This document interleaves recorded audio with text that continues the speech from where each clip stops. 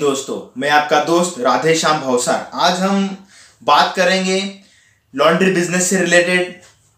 कई जगह पे ऑरेंज जोन में ग्रीन जोन में लॉन्ड्री बिज़नेस खुलने लगे हैं। तो लोग मुझे पूछ रहे हैं कि, सर, अभी हमारे बिज़नेस थोड़े थोड़े टाइम के लिए या कुछ टाइमिंग के हिसाब से हमारे शॉप खुलने लगे हैं। हमारे पास काम भी थोड़ा बहुत आ रहा है तो हम कैसे करें? हाइजीन कपड़ों को कैसे करें? तो इसी क्वेश्चन का आंसर मैं आपको देने वाला हूँ। और लॉकडाउन 3.0 ये लॉकडाउन 3.0 नहीं है, बल्कि ये रीओपनिंग 1.0 है। अगर लॉकडाउन खुलने वाला है ना तो एकदम से सारा कुछ नहीं खुल जाएगा। स्टेप बाय स्टेप खुलेगा। अभी तो आप देख रहे हो वाइन शॉप खुल गई है लंबी लंबी कतारें। डिस्टेंस मेंटेन करते हुए सोशल डिस्टेंस मेंटेन करते हुए वाइन शॉप के आगे भीड़ जमी है। सोशल डिस्टेंस का पालन कर रहे हैं। जैसे वाइन शॉप खुली है, वैसे और भी बहुत सारे बिजनेसेस खुलने वाले हैं धीरे धीरे step by step orange zone में और ग्रीन जोन में लॉन्ड्री बिज़नेस खुलने लगे हैं फ्रेंड्स कई जगह पे खुलने लगे हैं और कई जगह पे बिल्कुल भी स्ट्रिक्टली बंद है। अभी तेलंगाना में भी 29 मई तक लॉकडाउन तेलंगाना में जारी रहेगा कंटिन्यू रहेगा। और भी कई स्टेट में लॉकडाउन और भी बढ़ सकता है। लेकिन फ़िलहाल हम बात करते हैं जहाँ जहाँ पे लॉकडाउन थोड़ा थोड़ा खुलने लगा है ऑरेंज जोन और ग्रीन जोन में। तो अगर आप आयरनिंग का काम करते हो फ्रेंड्स तो आपको केयरफुली रहना है, क्योंकि आप डायरेक्टली कपड़ों को टच करते हो और वही हाथ आपके मुँह में, आपके आँखों पर स्किन में लगते हैं तो यही से कोरोना वायरस का स्प्रेड होता है। बहुत अच्छा होगा काम नहीं लेना, लेकिन अगर काम लेना ही है, क्योंकि पैसों की ज़रूरत है, महीने से काम नहीं हुआ है, बिल्कुल भी हमारे घर में पैसा नहीं है काम करेंगे तो ही तो पैसा आएगा। तो अगर आपको काम करना है तो सर्जिकल ग्लोव पहनिए। सेंटरिंग ये जो कंस्ट्रक्शन में ग्लोव आते हैं वो ग्लोव पहन सकते हैं।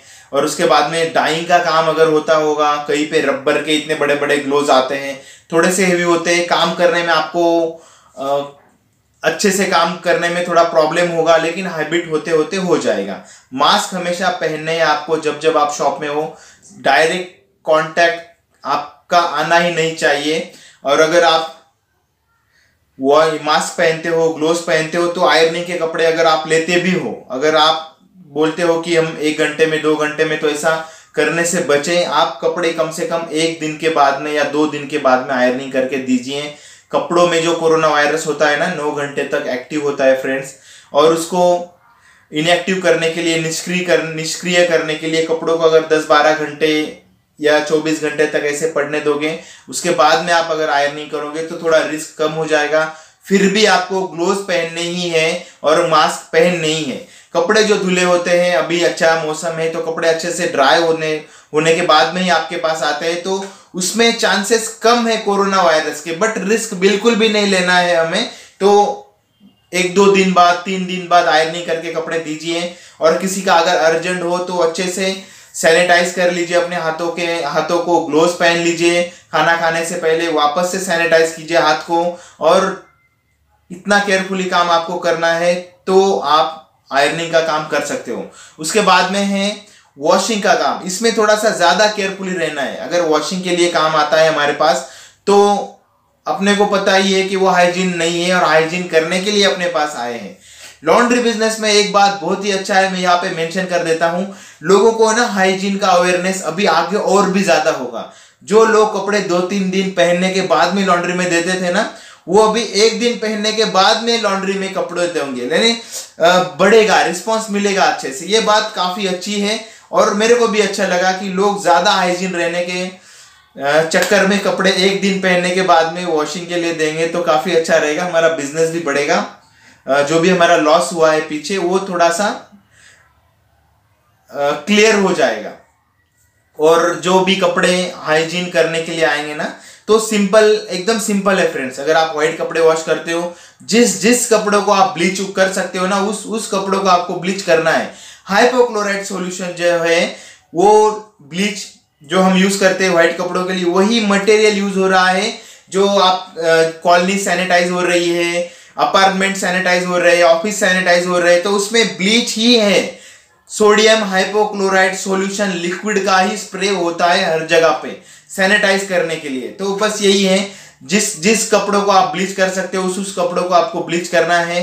रही बात कलरफुल कपड़ों की, हो सके तो थोड़ा सा टेम्परेचर दे सकते हो आप।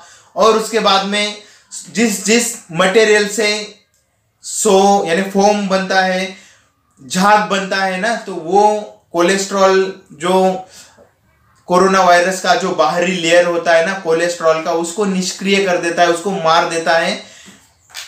जिस जिस केमिकल से झाग होता है। तो झाग वाले झाग वाले केमिकल आप पहले यूज़ कीजिए कपड़ों में। उसके बाद में आप एसिडिक एसिड, व्हाइट विनेगर से कपड़ों को खंगाल वगैरह कर सकते हैं। इसमें कपड़े आपके 100 परसेंट हाइजीन होने वाले हैं। और आपको करना है, कपड़ों को आप हाइड्रो करोगे और कपड़ों को धूप में अगर अच्छे से सुखाओगे तो कपड़े 100 परसेंट हाइजीन होने वाले हैं। लेकिन उससे पहले कपड़ा जब कस्टमर लेके आता है ना तो उसमें ज़्यादा ध्यान देने की ज़रूरत है, क्योंकि कपड़ों इफ़ेक्ट होते हैं कपड़े फ्रेंड्स हाइजीन है नहीं है, किसकी अभी हिस्ट्री क्या है, किसने कपड़े कहाँ से लाए हैं, या आपको कुछ भी नहीं पता है तो आपको पहले बहुत ही ज़्यादा केयरफुली रहना पड़ेगा। एक भी आदमी आपके शॉप में, आपकी लॉन्ड्री शॉप में विदाउट मास्क का और विदाउट हैंड ग्लोव का नहीं रहना चाहिए। ये बात सिंपल है, लेकिन अगर कहीं ये बात ध्यान में रखिए, बहुत ज़्यादा ज़रूरी है। अगर आप इफ़ेक्ट होते हो ना कोरोना वायरस से तो आपसे ज़्यादा आपकी फैमिली को तकलीफ़ होगी। ये बात आपको ध्यान में रखना है। तब भी आप अपना काम कीजिए। अगर आपको कोई भी ज़रूरत नहीं है ना अभी बिज़नेस रोपन करने की या रीओपन करने की तो थोड़ा सा बचो इससे। अगर नहीं कर सकते हो, पैसों की ज़रूरत है, काम करना ही तो ज़्यादा से ज़्यादा केयरफुली कीजिए। सैनिटाइज कीजिए अपने आप को शॉप को भी अच्छे से सैनिटाइज कीजिए काउंटर को। एक बकेट सोडियम हाइपोक्लोराइड सॉल्यूशन की रखिए अपने शॉप में। जहाँ जहाँ पे स्प्रे में भर के वाटर आप जहाँ जहाँ पे आपके हाथ लगते हो, आपके कस्टमर आते हैं, आपके कस्टमर के हाथ लगते हैं तो वहाँ वहाँ उसको स्प्रे कीजिए पोस्ट लीजिए। तो इस तरह से आप ज़्यादा से ज़्यादा सैनिटाइज रखिए, ज़्यादा से ज़्यादा खुद को हाइजीनिक रखिए, अपने शॉप को हाइजीन रखिए तो आप ये काम कर सकते हो।